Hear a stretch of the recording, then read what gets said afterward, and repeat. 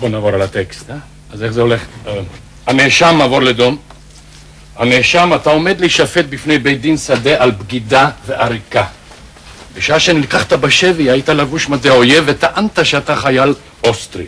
מה יש לך לומר על כך? אני יוסף שווייק מהגדוד ה-91. כך מדוע לבשת מדים רוסיים?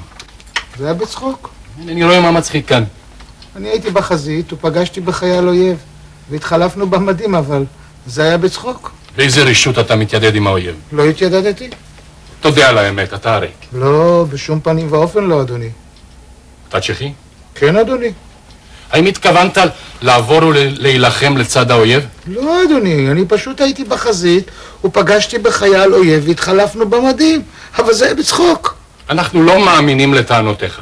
אם אתם לא מאמינים לי, אתם יכולים לשאול את סגן לוקש. סגן לוקש מת. מת? קיים רק עונש אחד על עבירה כזאת. יוסף שוויק, בית דין שדה מצא אותך אשם בבגידה ועריקה ודן אותך למוות. למוות?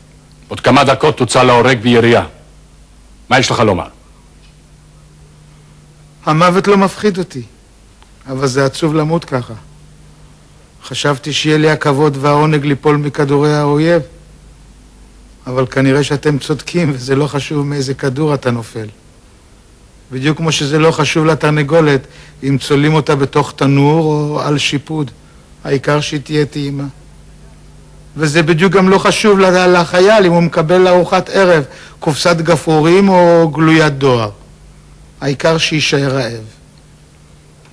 אני חושב שאין לכם ברירה אלא להוציא אותי להורג.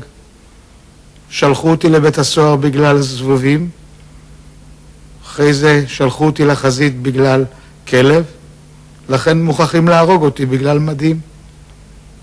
אני רוצה להגיד לכם שיש קשר חזק מאוד בין סוג המדים שאתה לובש וסוג הכדור שהורג אותך. אם אתה הולך במדים מתוצרת אוסטריה, אתה חייב למות מכדור מתוצרת רוסיה. ואם אתה הולך במדים מתוצרת רוסיה, אתה חייב למות מכדור מתוצרת אוסטריה. אבל אני חייב להגיד לכם שאת הנעליים לא החלפתי, ואני הולך למות בנעלי הקיסר. גמרתי. יש לך בקשה אחרונה? כן. תגידו בבקשה לחבר שלי וודיצ'קה שמסיבות שאינן תלויות בי לא אוכל להופיע לפגישה בשעה שש אחרי המלחמה. בקשה אידיוטית. זה הכל? כן, זה הכל. שלא אוכל להופיע לפגישה. ועכשיו אתם יכולים לקחת אותי. אתה רוצה שיקשרו לך את העיניים? וגם את האוזניים, אם אפשר.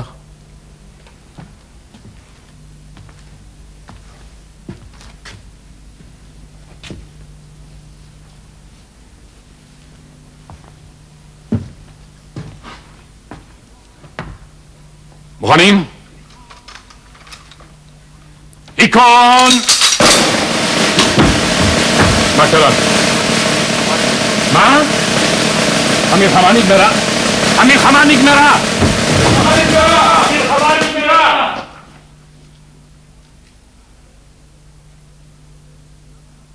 אדוני הקצין, למה אתם לא יורים? למה אתם לא יורים, אדוני הקצין?